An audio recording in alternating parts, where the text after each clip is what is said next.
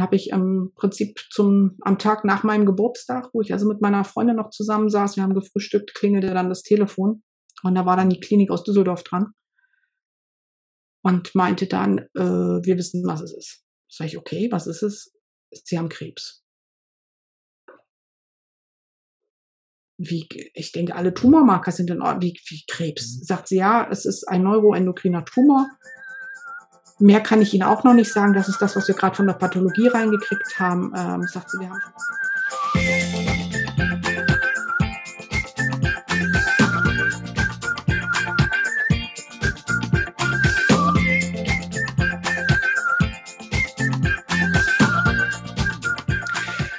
Einen wunderschönen, großartigen, schönen guten Morgen oder guten Tag oder guten Abend oder auch gute Nacht wünsche ich dir. Hier ist dein Marc, Marc Chapoutier alias Knochenmark zu diesem Podcast Das Leben lehrt. Und heute habe ich wieder einen wundervollen Menschen hier an meiner Rechten zu deiner Linken. Und das ist die, die liebe Silke Krutters. Schön, dass du mit dabei bist, Silke. Hallo Marc, ich grüße dich. Wunderbar. Ich freue mich. Mal gucken, was draus wird.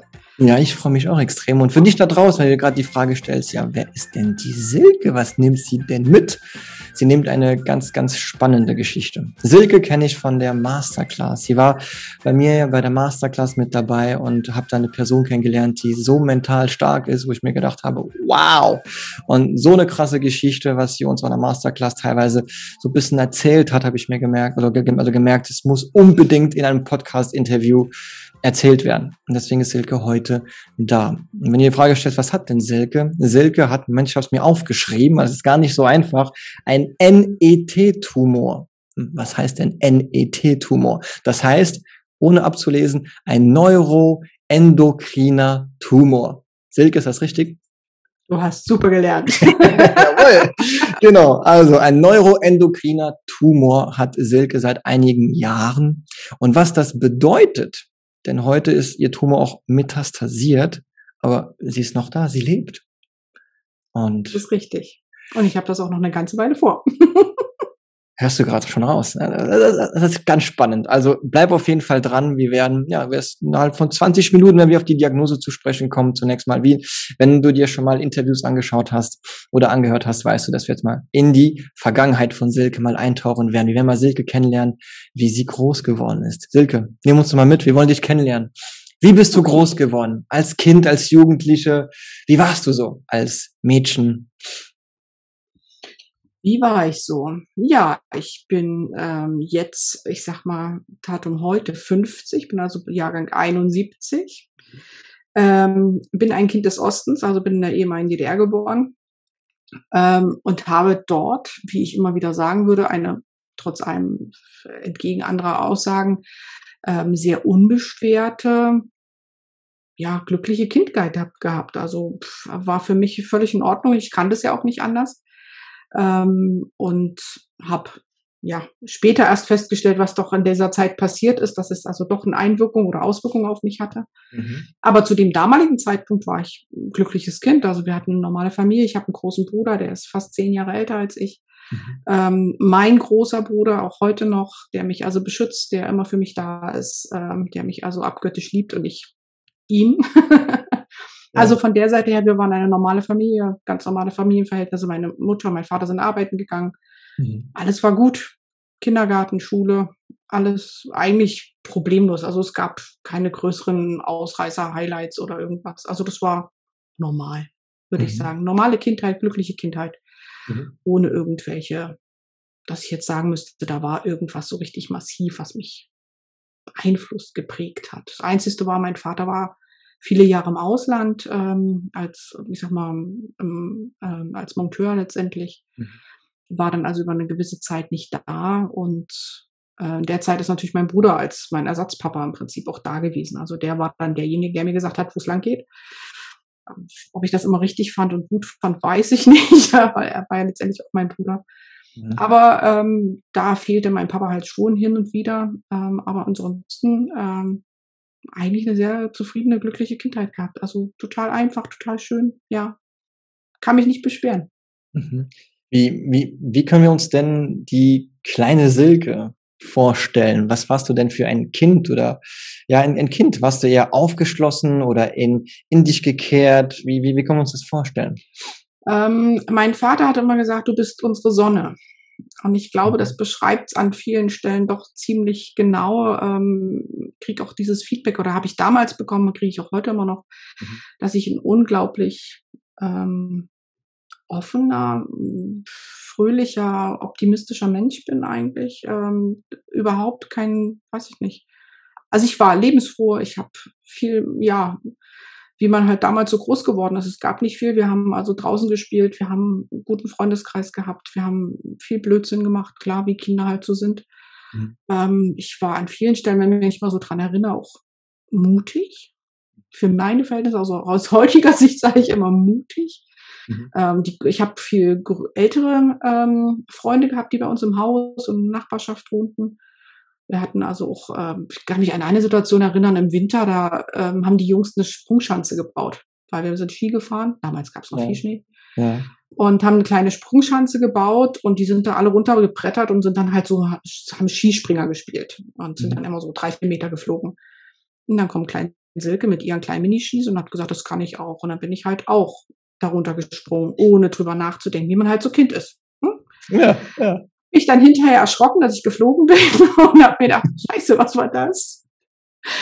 Ähm, aber es war, also das, ich glaube, das beschreibt es ziemlich genau. Also ich war da so offen geguckt, was bringt die Welt, was kann die Welt, ähm, hatte meinen Spaß, äh, habe von den Großen gelernt.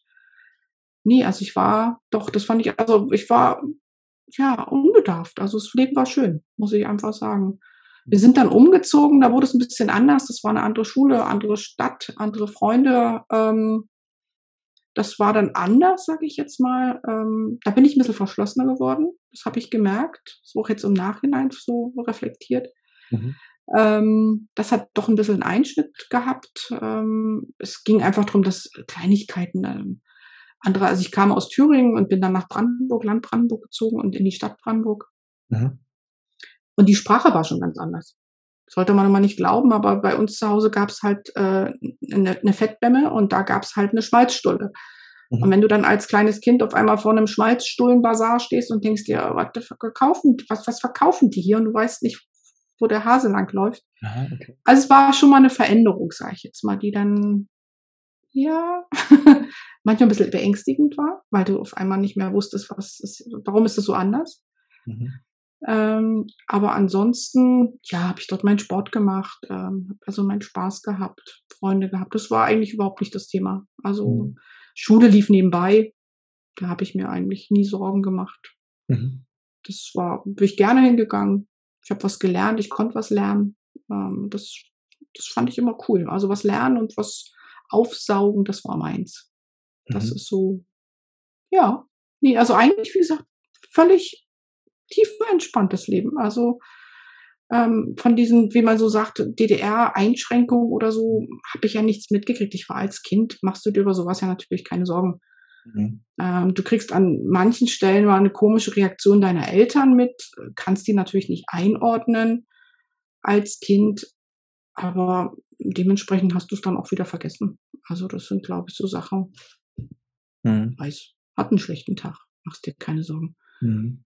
Hast du da in, in, in deiner Jugend auch, gerade vielleicht, wenn, wenn ihr, also wie, wie alt warst du, als ihr ausgezogen seid oder umgezogen seid? Acht. Acht. Und dann seid ihr auch dort geblieben, Brandenburg? Ähm, ja, relativ lange, zehn Jahre knapp, ja, und sind dann wieder umgezogen. Also wir sind, haben so ein paar Stationen gemacht, immer berufsbedingt von meinem Vater. Ja. Ähm, so dass dieses, wie viele es heute auch sagen, also dieses Heimatgefühl, das fehlt mir so ein bisschen, weil wir halt ja. an vielen Stellen irgendwo zu Hause waren. Also da, wo ich mich wohlfühlte, war auch so meine Heimat. Mhm. Aber wie manche, die dann wissen, wo sie hingehören, das fehlt mir, glaube ich, manchmal so ein bisschen. Ja, ja, verstehe. Hast, hast du da in der Jugend zu der Zeit irgendwie eine, eine Leidenschaft gehabt? Du sagst, ey, das war etwas, was ich so, so gerne gemacht habe als, als Kind. Das war mein Hobby, meine Leidenschaft. Jede freie Minute habe ich versucht, da irgendwie damit zu verbringen. Also ich habe leidenschaftlich gerne Tennis gespielt. Ähm, bin also an der neuen Schule, ähm, meine Klassenlehrerin, die war ähm, im Tennisverein und die meinte, Mensch, sag mal, willst du nicht irgendwie Sport machen, weil ich wie gesagt neu war. Mhm. Und ich sagte, ja, was könnte ich denn? Sagte, hast du nicht Lust, mal mitzugucken beim Tennis? Und dann habe ich gesagt, ja, kann ich ja mal machen. Mhm. Und das war so meine Leidenschaft eigentlich, bis ich so 16, 17 war, bis wir wieder weggezogen sind. Ähm, mhm. da bin ich viel gewesen. Also wenn ich auch mal Stress hatte oder Ärger hatte, dann habe ich mir meinen Tennisschläger geschnappt und bin dann auf den Tennisplatz gefahren. Da gibt's so eine, so eine Wand, wo man im Prinzip mit sich alleine spielen kann und dann gab's da auch mal so ein bisschen Schmackos und habe mich da so ausgetobt. Also das war, glaube ich, so mein Ausgleich für, wenn mal was schief lief mhm. oder wenn was da habe ich mich ähm, abreagiert, sage ich jetzt mal, immer die Bälle gegen die Wand gedroschen, damit einfach der Frust rauskam. Mhm. Und das war aber auch schön. Also wir haben auch viele ja, Meisterschaften, ne, sowohl als Gruppe, also als Mannschaft, als auch einzeln. Ähm, ja, auch ein paar Erfolge gefeiert, wie man das so hat. Also war schön. Ähm, zwei, dreimal die Woche zum Training, am Wochenende Spiele. Also das war, das war so meins. Ja, ansonsten, ähm, ja, ich war ein bisschen kreativ unterwegs oder ähm, aber ansonsten, nee, Tennis war eigentlich so das, glaube ich. Ansonsten habe ich viel gelesen. Meistens auf dem Klo. Ich von der Schule kam, ich aufs Klo gesetzt erstmal. Schön. Hatte erstmal stundenlang, bis die Beine eingeschlafen waren. Wer kennt das? Oder Wer kennt das, dass die Beine einschlafen? Ja, das kenn Ja, kennen wir alle. Oder in der Badewanne und immer wieder heißes Wasser nachlaufen lassen. Also das war auch so meine Leidenschaft, Bücher lesen. Ja, bis zum Abwinken. Ja, das war so. Das waren so die zwei, glaube ich, wo ich so richtig mhm. wo ich sage, das waren sie, ja. Schön. Und dann hast du gesagt, dann seid ihr wieder weggezogen und dann hast du kein Tennis mehr gespielt, oder was, was, was, was, was ist da passiert? Ja, mein Vater ähm, war im Prinzip äh, im Ausland, mhm. ähm, damals, wie man so schön nannte, nicht sozialistisches Ausland, er war also in Algerien. Mhm. Ähm, war dort immer alleine, weil, ja, klar, die Regularien des DDR-Regimes waren halt so, dass man äh, wegen Fluchtgefahr natürlich da nicht unbedingt mit Familie hin durfte. Es war nur in Ausnahmen möglich. Also war im Prinzip meine Mutter immer mit mir und meinem Bruder alleine. Mhm. Und dann ergab sich auf einmal die Möglichkeit, ähm, dass sie mitgehen konnte. Äh, da war ich also 16 oder kurz bevor ich 16, also 10. Klasse fast fertig hatte. Ähm, da war mein Vater wieder zu Hause, weil das, was er damals aufgebaut hat, das war so eine Gießerei äh, in Algerien, ähm, war fertig. Auftrag war beendet, er kam wieder nach Hause. Und ähm, alles war gut und dann auf einmal hieß es, ähm, er muss wieder zurück, weil die brauchen dort noch Unterstützung, äh, Mitarbeiter mussten eingearbeitet werden und, und, und. Und da hat mein Vater gesagt, das mache ich, aber nur unter der Bedingung, dass meine Frau mit darf. Ich bin jetzt vier Jahre alleine weg gewesen, äh, nur wenn meine Frau mit darf. Und das wollten sie natürlich nicht, gab es lange hin und her. Und ähm, zeitgleich war es dann so, dass ich also zehnte Klasse fast fertig hatte und es ging darum, was mache ich nach der 10. Klasse, wie geht's bei mir weiter. Ähm, ich wollte unbedingt Abitur machen, ich wollte Medizin studieren, ähm, hatte aber einen Vater, der leider kein Mediziner war und obwohl ich die Leistung hatte, also ich strebermäßig, ich hatte also einen Einser-Durchschnitt. Ähm, ja, genau. Und hatte aber ähm, leider, es gab bei uns in der Klasse nur zwei Abiturplätze und die haben halt zwei Jungs gekriegt, die zur Armee gegangen sind und die wurden also immer bevorzugt bedient. Dadurch konnte ich also kein, nicht einfach so Abitur machen. Und da war ich also ziemlich sauer und enttäuscht und auch aufs System das erste Mal sauer, ähm, weil ich gesagt habe, äh, ich habe hier die Leistung und aber Leistung lohnt sich nicht, weil am Ende kann ich ja damit nichts anfangen. Mhm. Und dann hat man mich eigentlich, ja, ich hätte also Stahlwerker mit Abitur machen können oder Elektriker mit Abitur, das waren so die Optionen. Mhm. Mm, die für mich nicht so wirklich Optionen waren. Also ich war nicht so der Technikmensch. Und da war ich echt sauer und habe gesagt, dann mache ich eben irgendwas anderes. Dann leckt mich. Ich war wirklich sauer. Und dann kam meine Mutter eben um die Ecke mit der Tatsache, dass mein Vater gesagt hat, hm, er würde sie gern mitnehmen. Und dann, hab ich, dann hat sie gesagt, aber ich kann dich ja nicht machen. Was soll denn aus dir werden? Du bist noch nicht mal 16 oder bist gerade 16. Ähm, dann habe ich gesagt, okay, wo müsste ich denn hin? Und dann ging es darum, dass ich ins Internat soll mhm. oder ins Internat müsste. Meine Mutter wollte das eigentlich nicht. Mhm. Und dann habe ich gesagt, komm, lass uns das doch wenigstens mal angucken. Du warst jetzt so lange alleine und ich wusste, wie, wie doll meine Mutter und mein Vater sich das gewünscht haben. Da habe ich gesagt, Mensch, komm, lass uns das Internat wenigstens mal angucken fahren. Ja, ja. Dann haben wir uns das angeguckt und dann erzählte mir die Direktorin von dem Internat, weil ich gesagt habe, und, und wie funktioniert das jetzt? Ich bin dann fertig mit der zehnten Klasse. Was mache ich dann? Ich meine, wo kriege ich dann hier eine Ausbildung oder was auch immer? Guckt sie mich an, äh, nein, sagt sie, das geht hier bei uns nur, bei uns müsstest du Abitur machen. ich müsste hier Abitur machen. Und sagt sie, ja, bei uns musstest du Abitur machen, weil anders geht es ja nicht. Wie soll, mhm. wie das soll das dann funktionieren? Mhm. Und habe ich zu meiner Mutter gesagt, sag ich, Mama, du gehst, weil dann kann ich Abitur machen. Und das war dann die Schlussfolgerung. Dann ist also meine Mutter im Prinzip wirklich zum 1. September mit dem Vater nach Algerien gegangen. Mhm. Und ich durfte dafür Abitur machen. Ich durfte also aufs Internat. Für mich ist es durfte aufs Internat, weil ich dann da mein Abitur machen durfte, was ich vorher nicht hätte machen können. Und so waren alle glücklich. Also es war das Beste, was mir passieren konnte. Und, und auch für dich, dass du im Internat dann im Prinzip alleine warst? Oder wann, wann hast du deine Eltern wieder gesehen? Du hast sie bestimmt immer mal wieder gesehen, oder? Ähm, also das war damals so geregelt, dass man seine Eltern einmal im Jahr sieht. Oh, krass. Also ähm, Besuch war nicht geplant, weil dann wäre die Familie ja schon fast vollständig gewesen, dann war wieder Fluchtgefahr, bla bla bla. Also das hat man äh, versucht zu mhm. unterbinden. Okay. Und deine Eltern mussten mindestens beide zusammen ein Jahr im Ausland sein, damit man äh, im Prinzip als Kind sie besuchen durfte. Mhm. Aber diese Regelung hat sich dann, während ich im Internat war, geändert, so dass ich dann es äh, nach einem halben Jahr auf einmal urplötzlich einen Anruf kriegte von der Betreuerin, sage ich jetzt mal, von meinem, äh, die also für mich zuständig war, Mhm.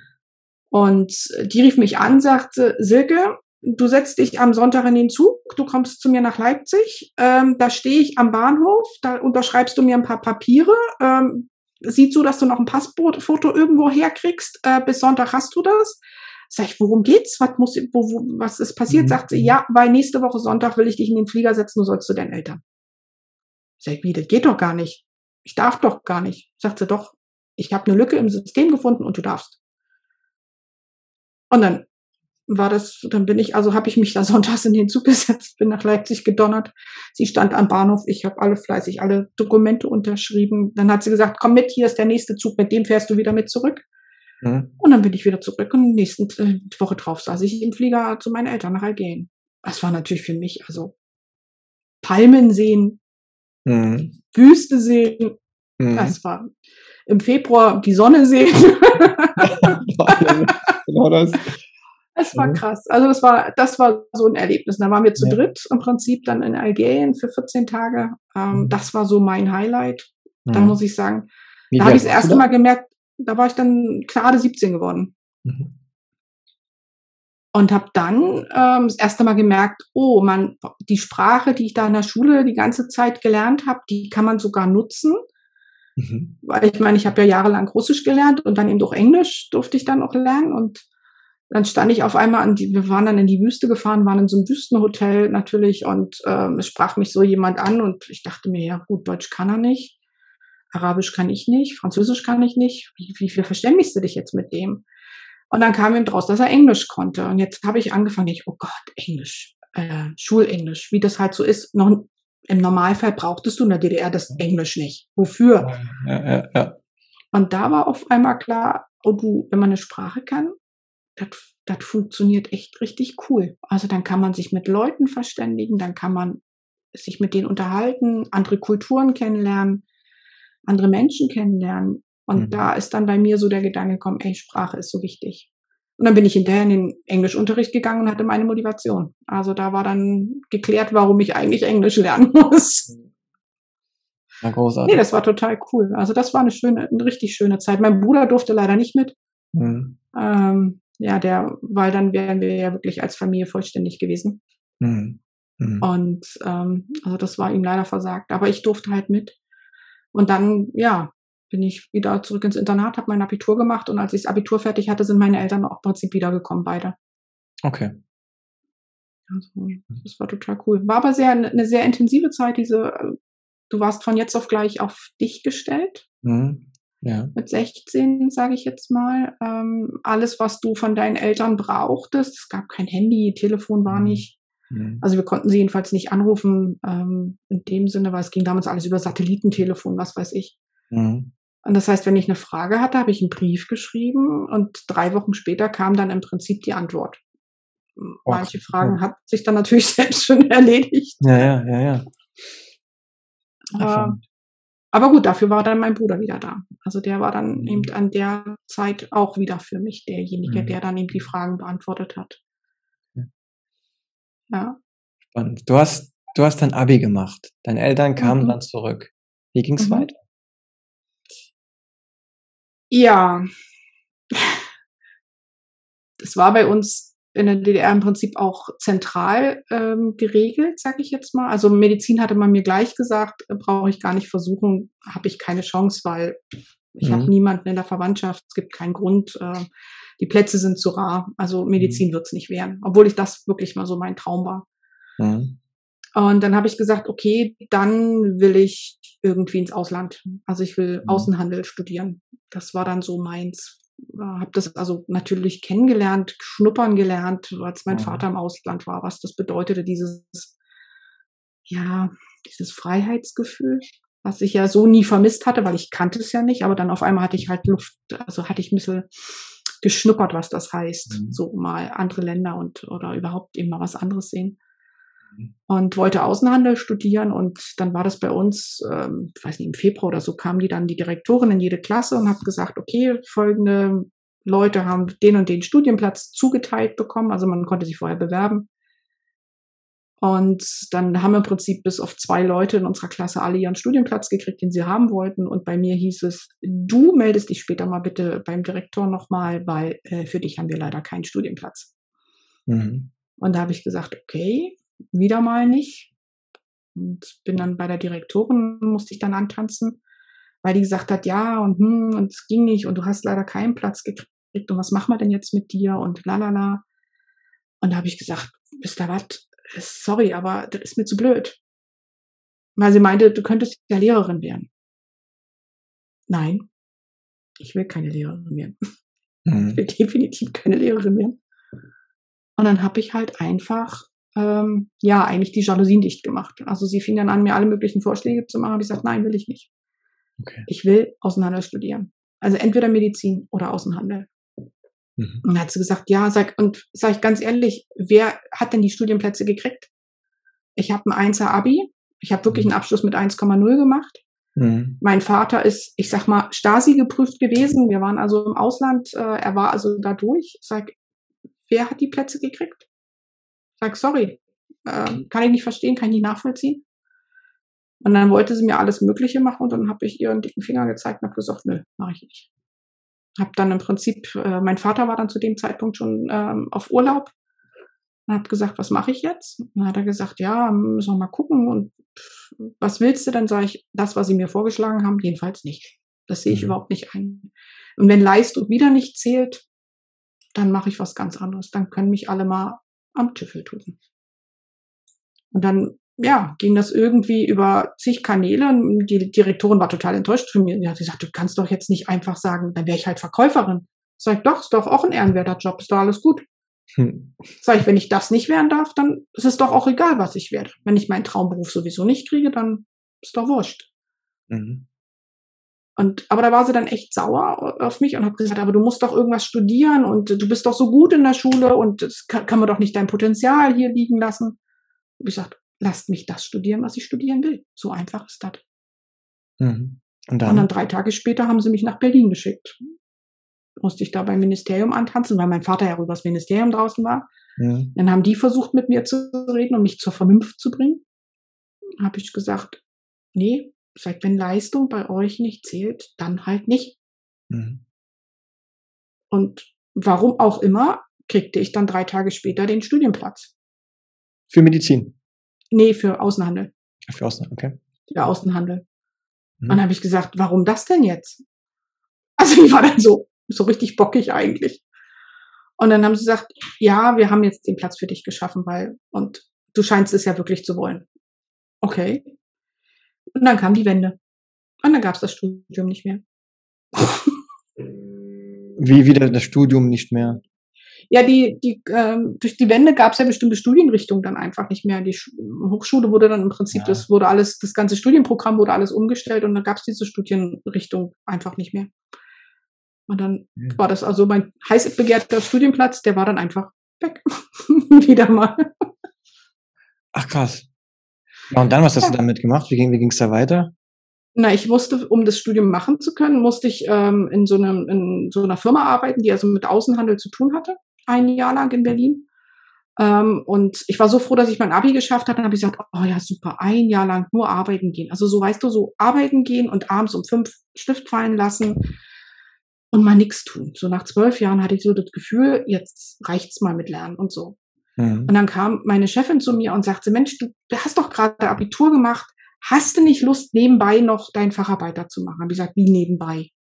Mhm. Seit es war eine Ausbildung, die dauert zweieinhalb Jahre, sagt sie, naja, du hast doch Abitur. Sag, und? Er sagt so, du schaffst es auch in einem Jahr. Sag, naja, sag, soll ich jetzt hier aber arbeiten oder soll ich jetzt eine Ausbildung machen? Nee, nee, du arbeitest und machst nebenbei die Ausbildung. Mhm. Also, wie stellt ihr euch das vor? Ich sag, ich wollte einfach mal nichts lernen, mal nicht abends sitzen und büffeln und Hausaufgaben und Referate und keine Ahnung was. Mhm.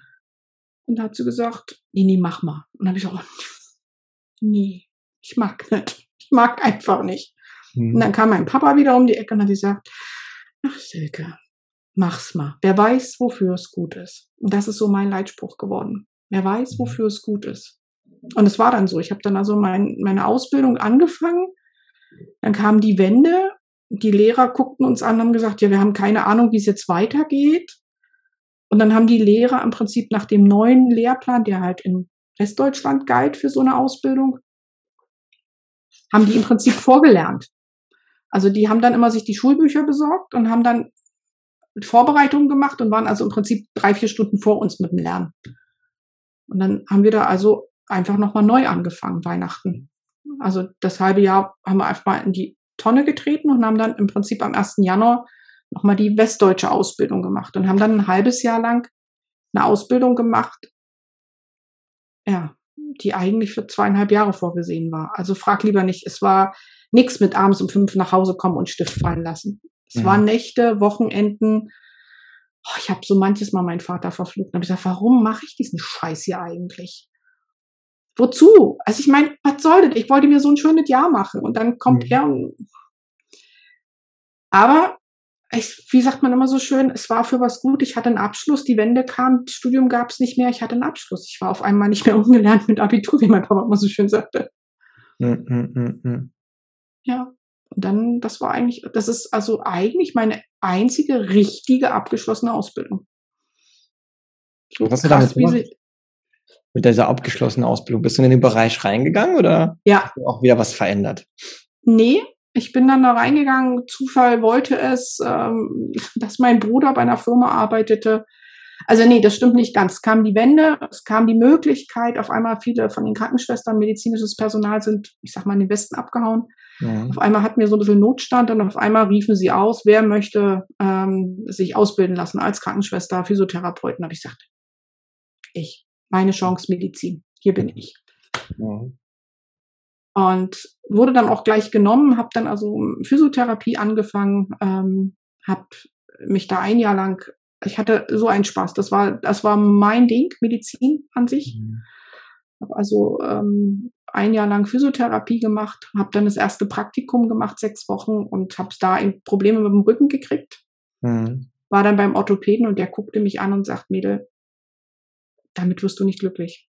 Das mhm. ist körperlich so eine, also letztendlich eine körperlich schwere Arbeit und mit deinem äh, letztendlich kaputten Rücken, was ich zu dem Zeitpunkt natürlich noch nicht wusste, wirst du nicht glücklich werden.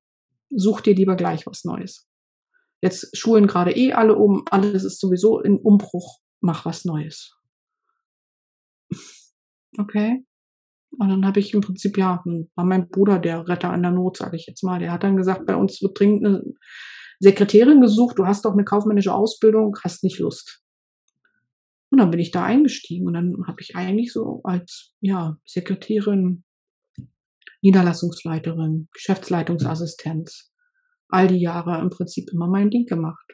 Und habe den Job geliebt. Also es ist jetzt nicht so, dass es ein Notnagel war oder irgendwas. Es war wirklich genauso ein Herzenswunsch, genauso wie, wie die Medizin letztendlich. Aber die Medizin hat mich halt nie losgelassen. Das ist immer so dieses, naja, wie es halt so immer drunter ist. Aber ansonsten bin ich in dem Beruf dann geblieben, äh, jahrelang. Mhm. Spaß dran gehabt. War meins. Und noch bis heute? Jein. also ich sag mal, ich habe, ähm, ich bin letztendlich in, in, eine Firma gerutscht, ähm, wo es dann um das Thema Vertragsmanagement ging. Mhm. Ähm, große Bauprojekte und so. Ähm, und dadurch, dass ich ja immer lernen wollte, bin ich da auch mit reingerutscht, reingewachsen. Mhm. Ähm, habe da meinen Spaß gehabt, ähm, viel gelernt. Mhm. Und bin also da immer noch jetzt ähm, tätig, sage mhm. ich mal. Mhm. Ähm, gleichzeitig kam aber dann, ähm, ja, ich sag mal, mit der Erkrankung meiner Mutter kam dann so die Zeit, wo ich angefangen habe, ähm, war ich viel im Heim. Sie war dann also, sie hatte Parkinson und Demenz, eine absolute Scheißkombi. Musste irgendwann ins Heim, weil mein Papa es nicht mehr geschafft hat. Ähm, und habe sie dort viel besucht und habe dann viel mit ausgeholfen. Einfach, weil ich dann sowieso den ganzen Tag mal da war. Und das hat mir Spaß gemacht. Also dieses Mitmenschen am Menschen. Und da bin ich also, das war einfach so, so diese dankbaren Menschen für Kleinigkeiten, für absolute Kleinigkeiten. Äh, wenn du einfach mal gekommen bist und mal bei der Hitze mal einen kalten Waschlappen in den Nacken gelegt hast, damit es mal ein bisschen kühl wurde und diese Dankbarkeit für diesen kurzen Moment, wenn sie also selber nicht mehr sich betätigen konnten, sage ich jetzt mal. Und dann habe ich im Prinzip einen alten Betreuer nebenbei gemacht, also wieder mal Fernschule ähm, weil ich wissen wollte, was ich da tue, wie ich das tue, damit mhm. ich da möglichst keine Fehler mache. Mhm. Ja, und das, das war, da habe ich gemerkt, da ist ganz viel in mir. Diese, dieses mit Menschen arbeiten, also auf einem, mhm. dieses Soziale. Da kam das medizinisch-soziale halt doch wieder durch. Ähm, mein neuer Mann ähm, hat mich dann im Prinzip immer unterstützt. Er sagt, wenn dir das Spaß macht, mach. Tu, kriegen wir hin, organisieren wir, dass wir da irgendwie Freiräume haben.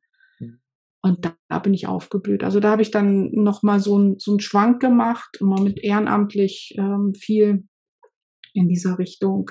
Hm. Mit Menschen am Menschen. Das war so meins, ja. So dass ich also dann, ähm, ja, und jetzt durch meine eigene Erkrankung dann nochmal eine ganz andere Richtung gekriegt habe. Das heißt, du bist dann in die alten Betreuung sozusagen dann reingerutscht? Hast da irgendwie deine Leidenschaft dafür gefunden oder irgendwie deine, deine Berufung gefunden? Zu dem Zeitpunkt warst du aber noch gesund.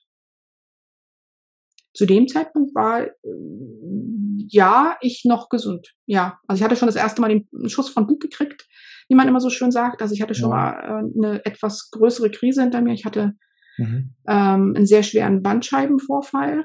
Ähm, mhm wo ich also ich sag mal dann auch hm, zeitweise im Rollstuhl saß und ähm, also Lähmungen hatte und so weiter, also richtig heftig.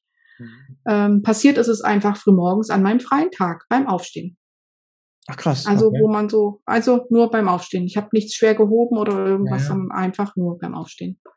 Okay. Und ähm, da war ich von jetzt auf gleich, ich sag jetzt mal, gegen so eine Wand gelaufen. Erstens war auf Arbeit, ich habe also locker eine 50-Stunden-Woche gehabt ähm, hatte das Gefühl, gebraucht zu werden, kriegte dort auch meine Anerkennung. Mhm. Und auf jetzt, von jetzt auf gleich liegst du dann zu Hause und kannst gar nichts mehr. Hast Schmerzen ohne Ende. Also ich mhm. wurde dann zugedröhnt. Ähm, ja, konnte also nur noch von der Couch aus so Anweisungen geben. Ich bräuchte da mal. Man ist auf Hilfe angewiesen, komplett auf Hilfe angewiesen. Und das war, glaube ich, so ein Moment, wo, wo ich viel Zeit hatte nachzudenken. Ja, was hat das mit dir gemacht? Genau, nachzudenken. Genau. Über was hast du denn nachgedacht in der Zeit? Naja, also es, es war eine ganz komische Situation, weil auf, äh, in der Firma hatte sich gerade, war gerade umstrukturiert worden. Mhm. Ähm, und ein neuer Chef war gekommen, der war mit seiner eigenen Sekretärin gekommen. Mein Chef ähm, war, hatte die Firma verlassen. Das heißt, es war gerade sowieso so eine eigenartige Situation. Ähm, und von jetzt auf gleich ähm, fiel ich aus. Ähm, das heißt, die andere Sekretärin zu dem neuen Chef äh, musste meine Arbeit machen. Und als ich dann nach drei Monaten wiederkam, äh, ja, konnte sie natürlich alles. Logischerweise. Sie hat zwar ab und zu mal angerufen, damit sie so ein paar Hinweise kriegt, aber letztendlich hat sie komplett meine Stelle übernommen. Und auf einmal war dieses, äh, ich weiß gar nicht, wie man das beschreiben kann, es war so, so mein, mein, meine Lebensaufgabe oder mein, der Sinn war irgendwie weg weil ich habe jahrelang, ich weiß nicht, 15 Jahre lang diesen Job gehabt. Und durch diese Krankheit war ich sowieso erstmal dieses alles war in Frage gestellt. Kann ich jemals wieder laufen? Kann ich wieder arbeiten? Wie wird das überhaupt? Und dann hat man auf einmal gemerkt, man ist ersetzbar. Das tat, glaube ich, irgendwie weh. Also so diese Erkenntnis, weil man so für diesen Job ja, ja auch gebrannt hat. Ja, ja. Damals noch im Angestelltenverhältnis und dann war man auf einmal ersetzbar und irgendwie war das komisch. Also da hatte ich mal so ein, ja, eine ziemliche Krise, sag ich jetzt mal. Mhm. Und irgendwo habe ich mir immer gesagt, ey, für irgendwas muss das doch gut sein. Wer weiß, wofür das gut ist. Zu dem Zeitpunkt habe ich. Neid, ein Leitspruch, ne? Ich glaube, das ist so, wirklich, wenn ich jetzt auch so merke, ja, es ist, glaube ich, so mein Leitspruch. Das ist schon die Frage, die und, am Schluss noch kommen wird, aber ja, ja. Mhm.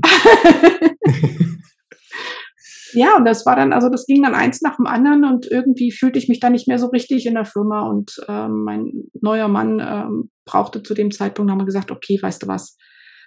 Dann habe ich gesagt, weißt du was, ich gebe das jetzt hier auf und ähm, wir machen das anders. Wir machen das jetzt beide zusammen ähm, und ja, und dann habe ich im Prinzip damals äh, dann innerhalb von 14 Tagen mein Haus verkauft, mhm. meinen Job gekündigt, äh, bin dann zu meinem neuen Mann gezogen mit den Kindern ja, und das Leben fing nochmal wieder neu an. Also es hatte was Gutes, weil diese Krise, dieses drüber nachdenken, was will ich eigentlich oder was mache ich hier und was habe ich überhaupt die ganzen Jahre gemacht, die man halt so, ja, man hat halt funktioniert an vielen Stellen, das gebe ich ehrlich zu. Also da war ja. Hamsterrad vom Feinsten, glaube ich. Ja, und diese Krise ist aktuell immer noch dein Bandscheibenvorfall, den du hattest, der dich sozusagen immobil gemacht hat? Äh, nee, das ist soweit alles wieder. Über ja, Jahre ich meine, hat sich das. Also, ich meine, was du gerade gesagt hast, die Krise, die etwas Gutes hat, ist ja, ja, die Aussage baut ja zunächst mal zu dem Zeitpunkt auf die Krise, die du hattest, ähm, ja. diese orthopädische Krise im Prinzip. Genau. Die Frage, die man sich stellt, sagst du das heute auch immer noch? Mit einem Tumor. Da kommen wir gleich mal drauf zurück. Für dich da draußen, wenn du gerade zuschaust, wir kommen wir gleich mal drauf zurück. Lass uns mal langsam in die Richtung gehen. Diagnose mhm. NET-Tumor, neuroendokriner Tumor. Wie, wie kam es zu dieser Diagnose? Wie, was, was für ein Leben hattest du zu dem Zeitpunkt? Wo standest du? Wie kam es?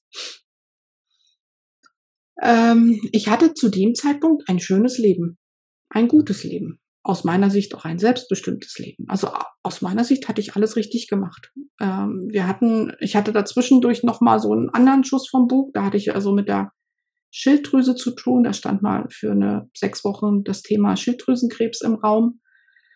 Und das war der Moment, wo mir der Arsch auf Grundeis ging. Also wo ich gemerkt habe, schade, hier läuft was total schief ähm, soll es das jetzt gewesen sein. Ähm, das war 2017. Und da habe ich dann damals gesagt, sag ich, weißt du, wenn ich aus dieser Nummer hier lebend rauskomme, dann will ich nicht mehr so wie bisher. Kenn ich. Das genau. Deswegen, und das war so dieser richtige Schuss von Bug. Es war, das Blöde war, dass zeitgleich ähm, zu meinem Verdachtsdiagnose ähm, eine gute Freundin von uns ihre Krebsdiagnose bekommen hatte, Lungenkrebs mit Lebermetastasen. Okay.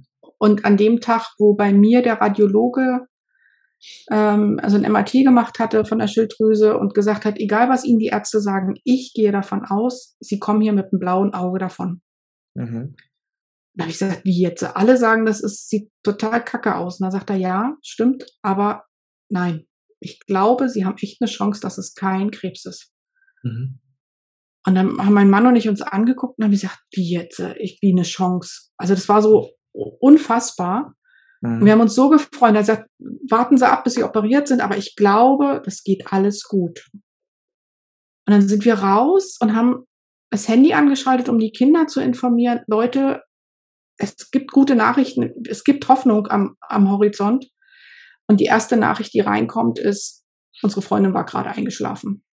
Genau in dem Moment, wo wir also die gute Nachricht hatten, war sie gerade gestorben.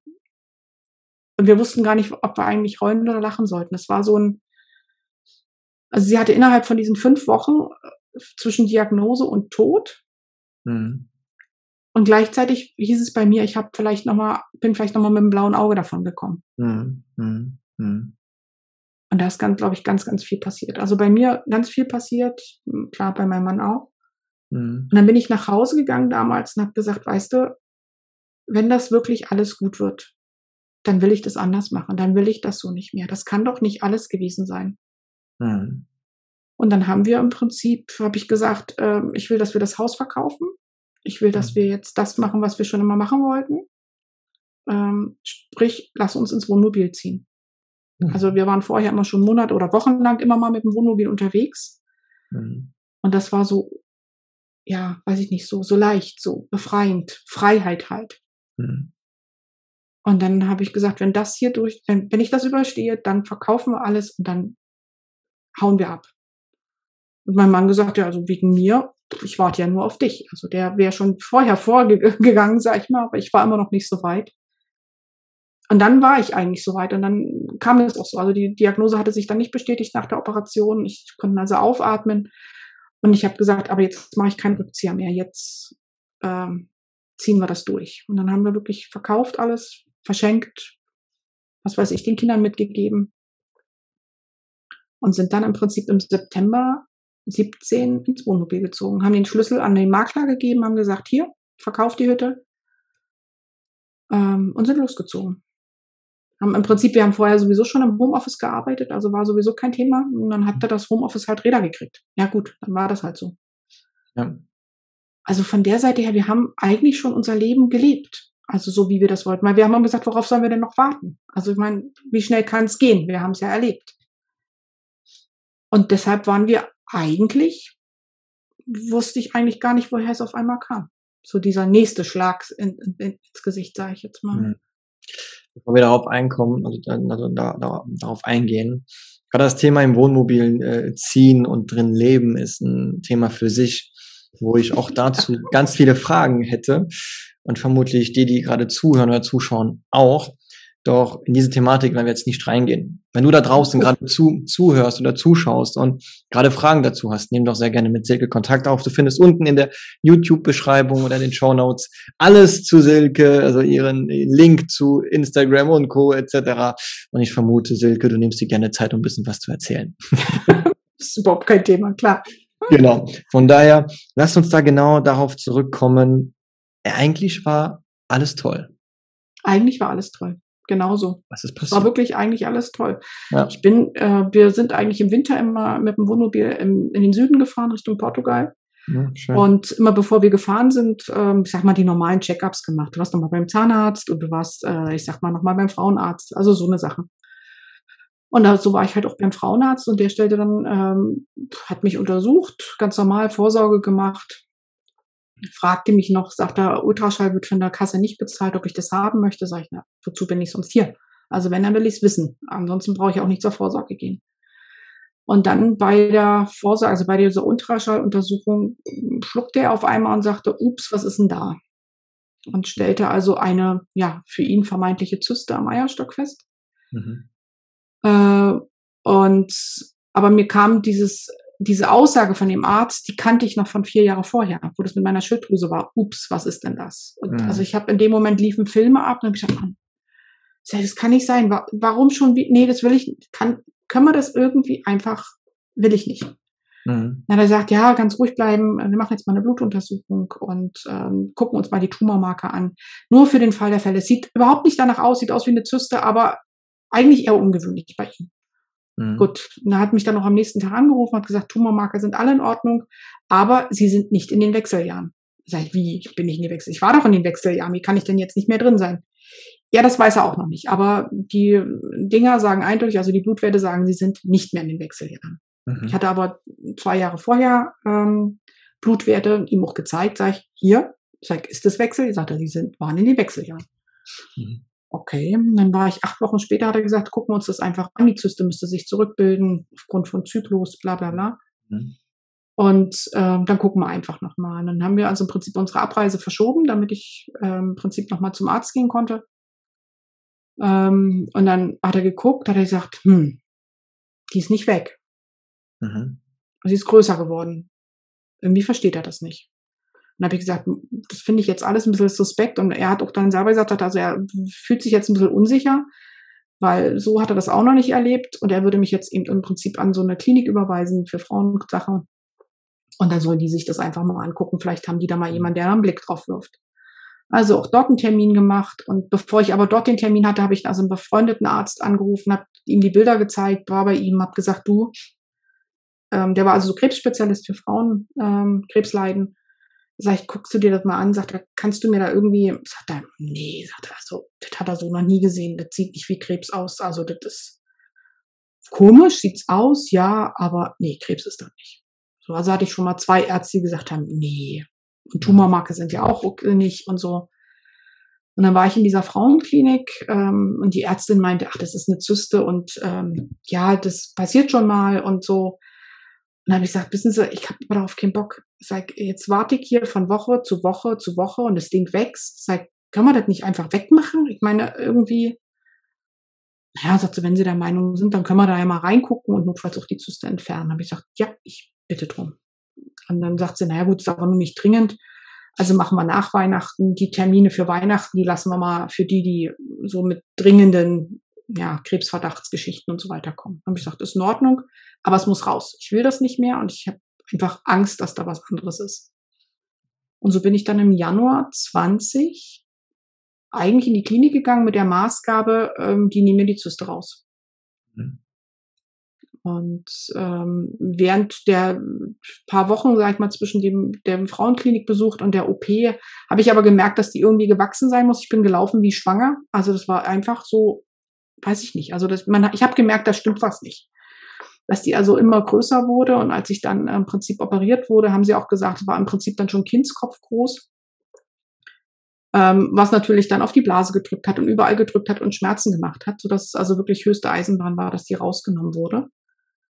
Mhm. Und nach der OP, ja, brauchte ich also drei Tage, bis mal irgendein Arzt da war, der mir dann sagen konnte, ja, also eine Zyste ist es nicht, wir wissen aber nicht, was es ist. Mhm. Ich sag, wie jetzt? Zyste ist es nicht und ihr wisst nicht was. Die Tumormarker sind doch alle okay. Mhm. Und ja, und dann haben sie gesagt, ja, das stimmt, aber sie haben keinen Plan. Sie wissen nicht, was es ist. Sie haben auch keine Vermutung momentan. Die Pathologie ist jetzt dran und die soll mal rausfinden, was das ist. Mhm. Ja, und dann hat es, ich sag mal, glücklicherweise letztendlich nur eine Woche. Ich bin also eigentlich zu dieser OP nur in, von Portugal im Prinzip nach Deutschland geflogen, bin also wieder zurück. Und dann habe ich im Prinzip zum, am Tag nach meinem Geburtstag, wo ich also mit meiner Freundin noch zusammen saß, wir haben gefrühstückt, klingelte dann das Telefon. Und da war dann die Klinik aus Düsseldorf dran. Und meinte dann, äh, wir wissen, was es ist. Sag ich, okay, was ist es? Sie haben Krebs. Wie, ich denke, alle Tumormarker sind in Ordnung, wie, wie Krebs. Mhm. Sagt sie, ja, es ist ein neuroendokriner Tumor. Mehr kann ich Ihnen auch noch nicht sagen. Das ist das, was wir gerade von der Pathologie reingekriegt haben. Ähm, sagt sie, wir haben schon alles vorbereitet. Sagt sie, können Sie am Freitag, also drei Tage später, wieder hier sein. Und wir würden äh, im Prinzip alle möglichen Tests dann laufen, weil wir wissen müssen, äh, was das ist, wo, wo noch was ist. Wir brauchen CT und was weiß ich von Ihnen. Mhm. Ja, und damit ging dann die Odyssee eigentlich los, ja. Was ging dir durch den Kopf, als du das gehört hast? Ich war fassungslos. Also mir hat's, ja, man sagt ja immer, man, das reißt dir den Boden unter den Füßen weg und das ist, mhm. glaube ich, die einzige Beschreibung, die man dazu haben kann. Mhm. Weil irgendwie haben mir ja drei Ärzte vorher bestätigt, da ist nichts. Mhm. Also es ist eine Zyste und die Tumormarker sind in Ordnung und also irgendwie die, ich sag mal, ich hatte ja auch die, die Zeit davor immer irgendwie Beschwerden und egal was ich hatte, war immer, ähm, ja, das ist das und das ist das und das ist das. Also es gab immer eine Erklärung. Mhm. Und plötzlich hatte das alles irgendwie einen Namen gekriegt. Auf einmal war es dann doch Krebs. Und mhm. das war Teil eins dieses Podcast-Interviews mit der wunderbaren Silke Gutas. Wenn dir das gerade gefallen hat, dann lass doch mal schon mal einen Daumen hier oder gib uns eine gute Bewertung ab.